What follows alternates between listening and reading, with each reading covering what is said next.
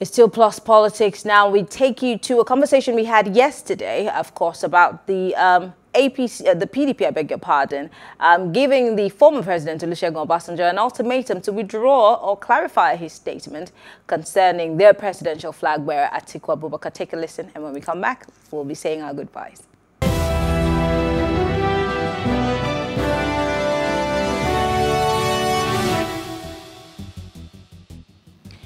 Unless former President Olusegun Obasanjo clarifies the comment he allegedly made that picking former Vice President Atiku Abubakar as running mate in 1999 was a mistake, the People's Democratic Party has threatened to break the egg and tell the whole world and Nigerians who Obasanjo is in 48 hours. The media was awash on Monday with former President Olusegun Obasanjo, uh, his quote to have said that uh, he made a mistake while selecting Alhaji Atiku Abubakar as his vice president in 1999. However, Chairman of the People's Democratic Party Board of Trustees, Senator Walid Jibrin, said that if the former president failed to clarify the statement in 48 hours, the party will be left with no option but to expose Obasanjo to tell Nigerians who he really is. Now, Senator Jibrin, who spoke to journalists, explained that the PDP was high in regards and respect for the former president, but it will be very disappointing if the statement credited to him is true. Well, joining us to discuss this are Biodun Sowunmi, a political analyst, and Gbola Oba, who is also a political commentator. Thank you so much, gentlemen, for joining us. It's my pleasure.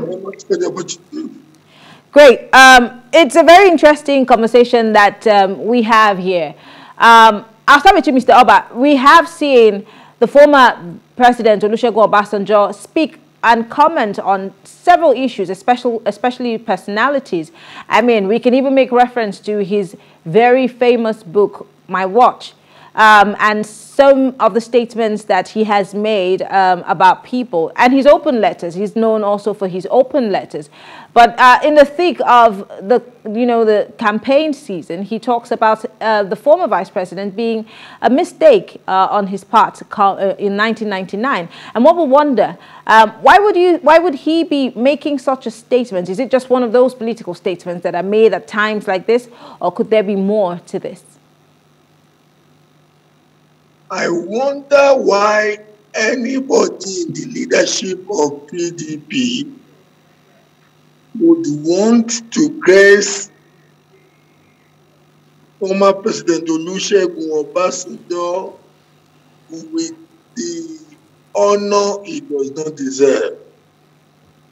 They will be committing political harakiri in this political society if they want to engage with Olusegun Obasanjo on anything that we give that we give him relevance, especially for the mischief that he has set out to do. They should just leave him on his own and let him do whatever he likes because at some point, at some point, the public will see him in as a nuisance that is just there. But if they want to engage him as they have threatened to do, they will be the worst for you.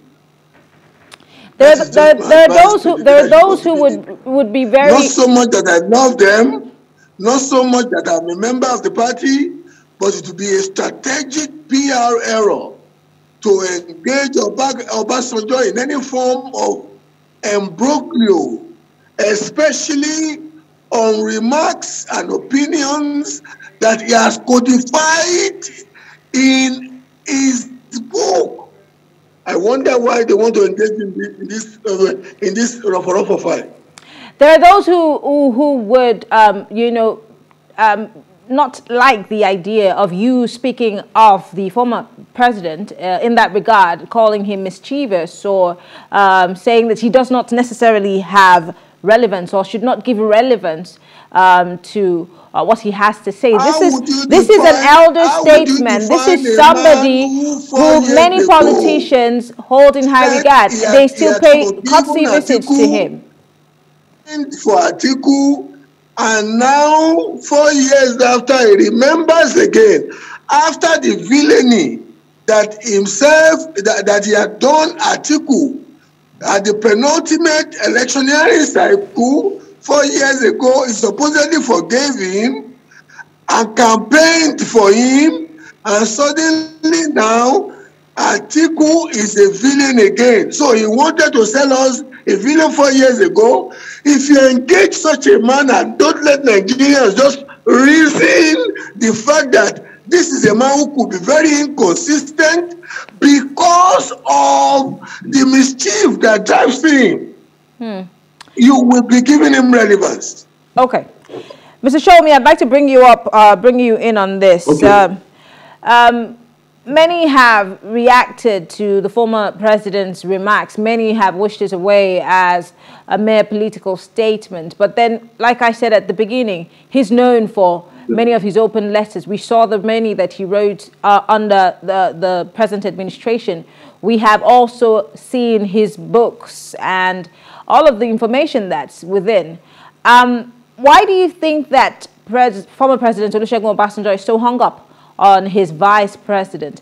And just to borrow some things that um, Mr. Oba just said, that why would he want to mar, uh, you know, uh, the campaign of someone who also works with him and campaigned for him, then all of a sudden he's become a bad person. Don't people change? And doesn't he reserve the right to make his um, assertions? Uh, yeah, uh, honestly to, speaking, to be fair to um, gen, uh, the former president, Olusegun Obasanjo, this was not all the core remark he made the remark at an award, leadership award event in um, Abeokuta in his um, presidential library. And he didn't speak particularly on Vice President, former Vice President Atiku. It was, I don't think he was a target. Um, um, I'm not a spokesperson, but I read the whole debate clearly. Um, he spoke within the context of trying to share his leadership experience. And within that context, he highlighted the good and also the errors he made.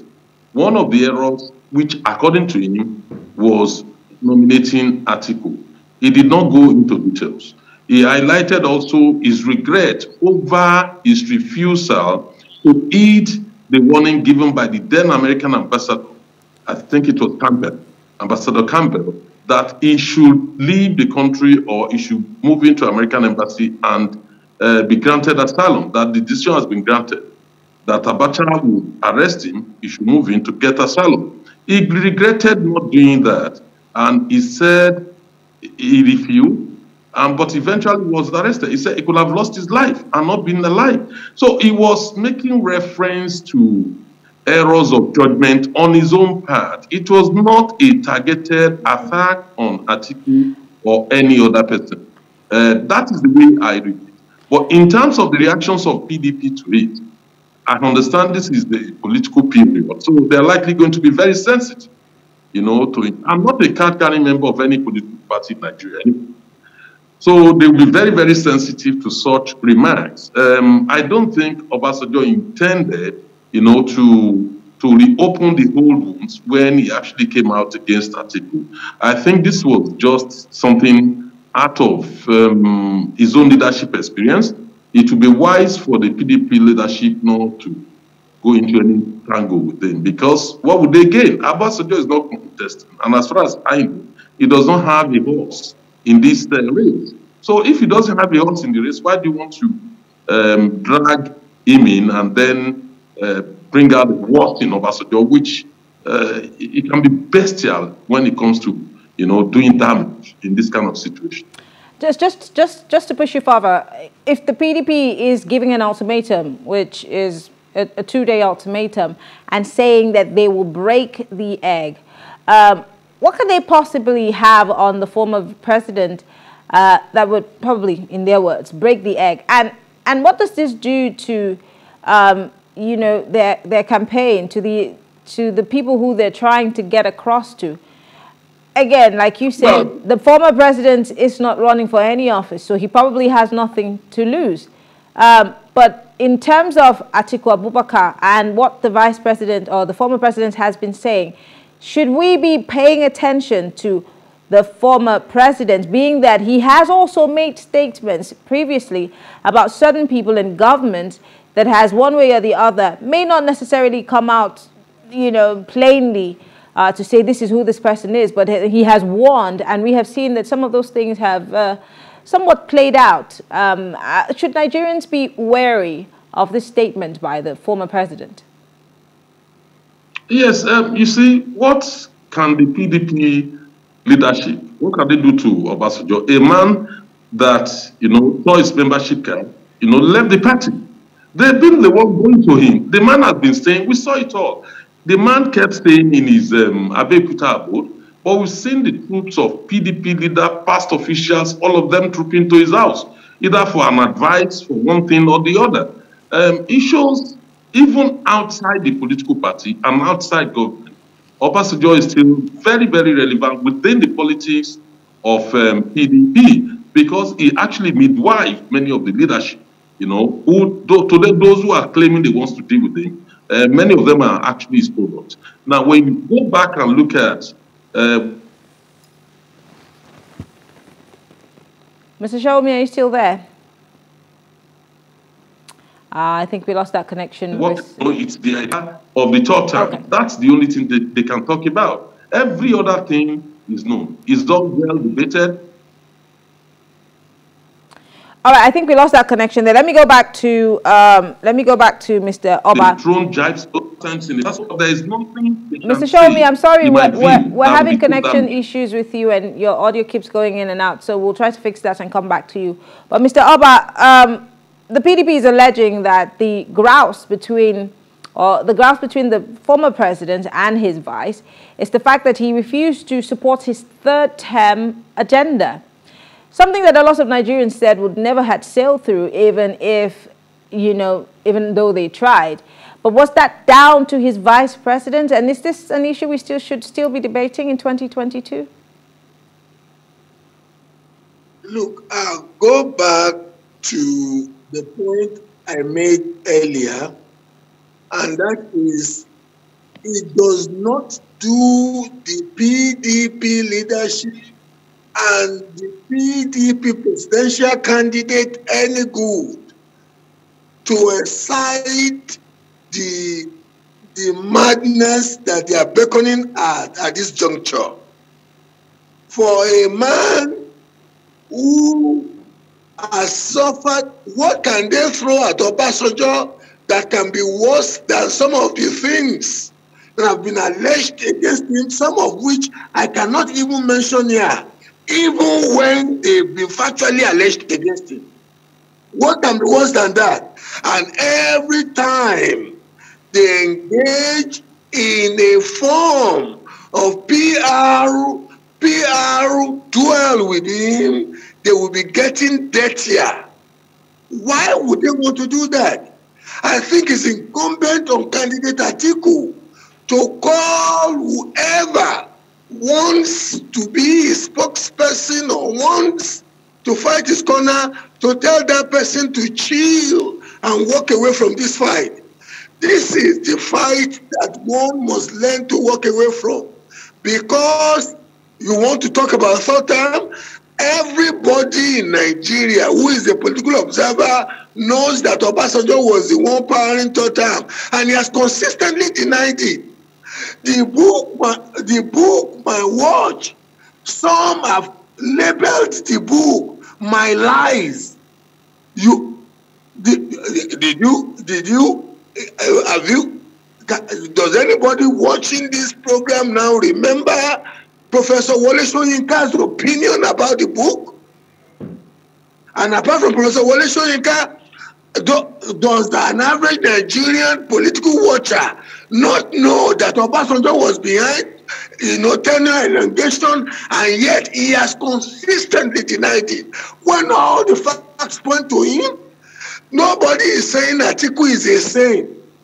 But in so much as the PDP has choosing him as their candidate on this occasion, they need no, they have enough to manage with the squabbles that that is you know that is ensuing as a result of you know Atiku choosing a vice presidential nominee. Okay. They have that to manage because there seems to be a tendency for, for, for a form of factionalization to develop in the party. Why would they want to bring Obasanjo into the mess?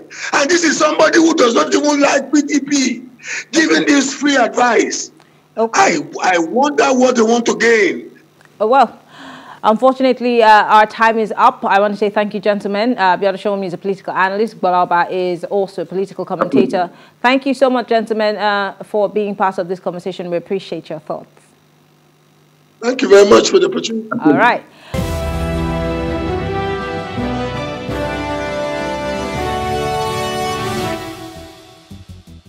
And that's the show tonight. We want to thank you for being part of the conversation. We'll be back tomorrow, same time, 7 p.m., as we talk on all the big political stories across the country.